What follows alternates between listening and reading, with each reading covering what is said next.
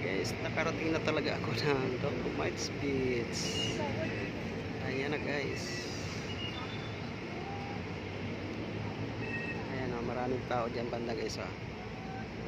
Ayan guys. Ayan, dito na lang guys ang aking video. Thank you guys.